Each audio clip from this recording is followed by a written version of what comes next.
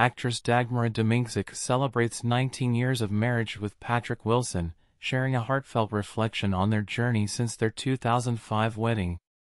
From being a carefree, blonde smoker to embracing change and motherhood, Domińczyk expresses enduring love for Wilson despite life's transformations. The couple met as drama students and reunited later, building a life together with two sons.